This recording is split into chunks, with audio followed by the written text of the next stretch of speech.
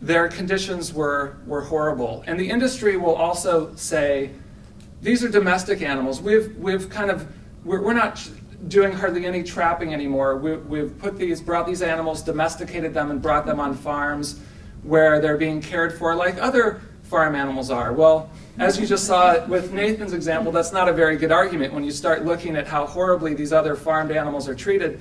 But um, to argue the point about whether they're domesticated, um, it's only been since 1930 that we've been bringing mink, fox, um, chinchillas into caged uh, environments where they're being factory farmed. And it certainly takes, you know, thousands of years to domesticate animals. These animals are definitely wild, and I saw it with my own eyes. Um, and you've seen, probably seen video footage, and, and I want people um, after this talk to grab a, a DVD. We have video footage that we're giving away that shows some of these investigations and what is actually happening, because the best way to really convince someone is to show them this is what's really happening. These animals are running the wire, they're going crazy. They um, circle and pace, they uh, mink, which are the, the vast majority of animals being raised for fur, are mink. They are um, biting at themselves. There's been, invest- there's been studies that have shown that they're developing ulcers. These are highly stressed animals. And uh, in the case of mink, they're living in cages usually about 10 inches by 24 inches. Very small, um, horrible cages. Their feces is piling up below their cages. In the case of, the, of Dan Ashelman, the fox farmer that I worked for, he was collecting their urine too, and he sold their urine as cover scent for hunters. That these hunters dab on fox urine like cologne when they go out into the woods to kill other animals to cover their scent. And so imagine five gallon buckets just filled with disgusting urine um, encrusted cages with feces. These animals live like this all the time. And there are no laws protecting them. Um, in fact, when we went to go bust this Illinois fur farmer, it took us about a day of calling agencies to even find out what agency that in the state of Illinois, none of these agencies even knew who regulated fur farms. They were all pointing the finger at each other. Finally, the state ag department did get involved, and because we had such clear evidence of abuse, such as um, one animal, one fox who had her leg was caught in the back of the cage. She couldn't get to her food, and so she chewed her own foot off in order to get to the food in the front of her cage. None of this was noticed because it's all such an assembly line. Each individual animal is meaningless to them and, and are given no care at all. That um, this animal went with exposed bone, his whole limb chewed off. The foot was still stuck in the back of the cage when the um, ag department came in to investigate. He had not done anything to alleviate the suffering of this animal. And that's just the, the tip of the iceberg. I mean, these animals were not even getting adequate water because on a fur farm during the pelting season, um, the, the only reason I got in was because his only employee had just had a mild heart attack and he needed someone. So it was just, you know, luck that um, he was willing to hire some Omaha kid who was totally unfamiliar with the, the area and, um, and hired me to work for him. But um, because he was in the process of anally electrocuting these foxes, and that is how foxes are killed on fur farms, mink are usually killed by gassing or neck breaking. Chinchillas are often killed by neck breaking or um, electrocuted with an electrode on their ear and um, their genitalia um, connected to another electrode. Just miserable lives, miserable ways that they're killed. Um, but he, he was so concerned about um, killing all these animals that he wasn't even giving them water.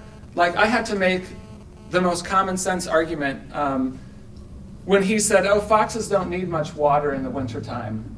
That was his argument for the fact that they were hardly getting any water. And of course, I was trying to get, get them water.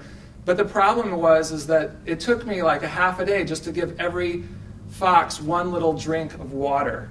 And um, some of them were so crazy from being captive that they would chew on everything in their cage, including the little plastic cup where their water was kept.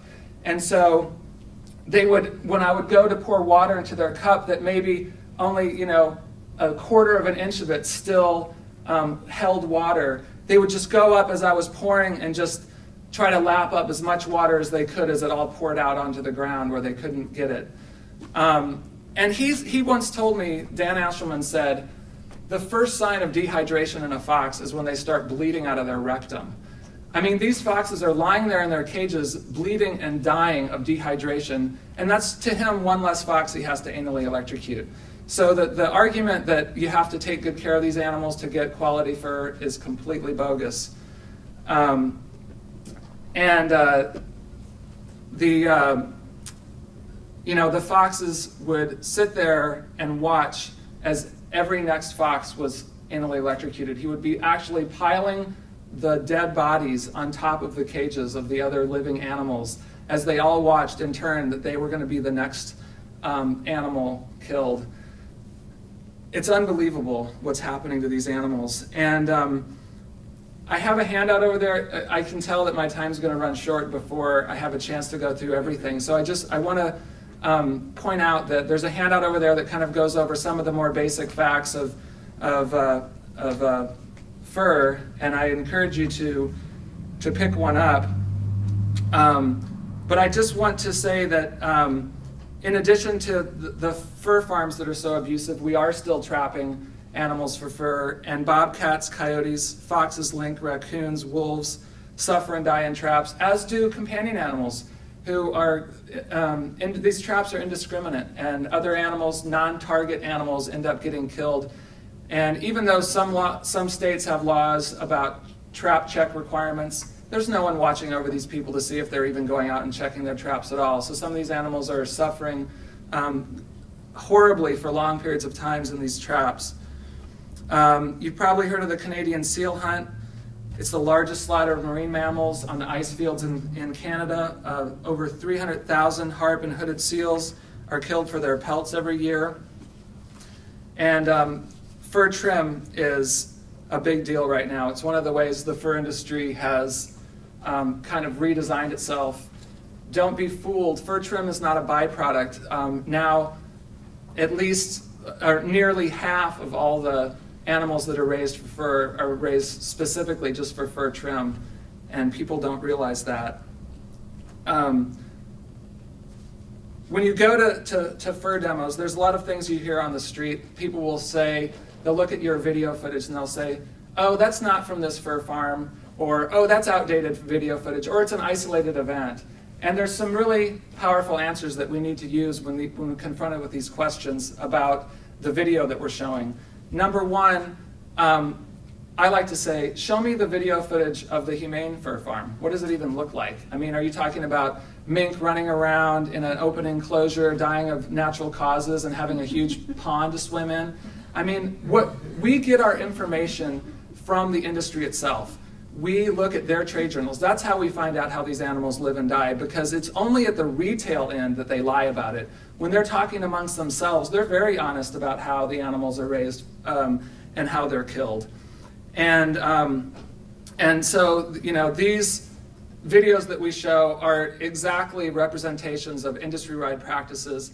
Even when we busted this guy in Illinois, he was only given a few hundred dollar fine and things like anal electrocution were not even things that were, that's an industry practice that everyone uses. It's not even considered illegal. It was only like animals not getting water, animals outside being exposed to harsh temperatures with no shelter, um, deer who he was keeping for their urine, whose actually their, their hooves were getting caught into the wire and they were tearing their legs off inside of these boxes they were kept in. These were the kinds of things this uh, really egregious cruelty, he got a slap on the wrist and he's still in business.